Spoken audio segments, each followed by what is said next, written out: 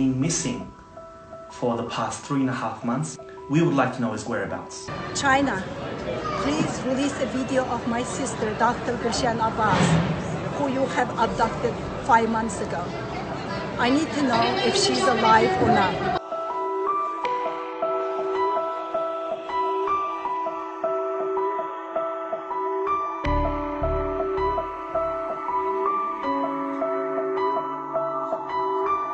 I had decided to stand up and uh, launch the Me Too Uyghur movement to help every Uyghur to raise their case.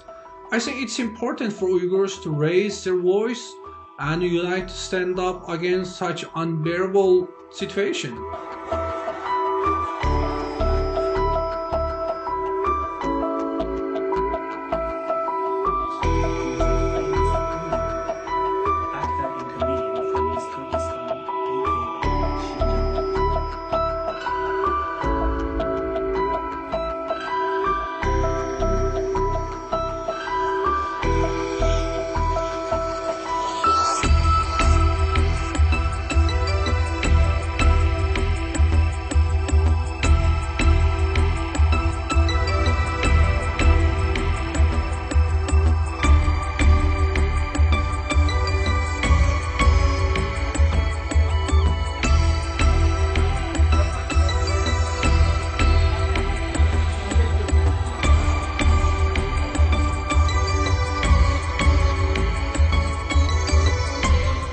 If China wants the world to believe that it is an harmonious country rising peacefully on the international scene, then the Uyghur case uh, particularly challenges the image China wants to show to the world.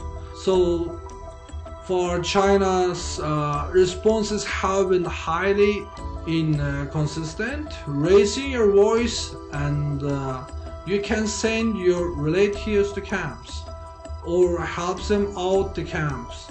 There is no systematic reaction from Chinese authorities.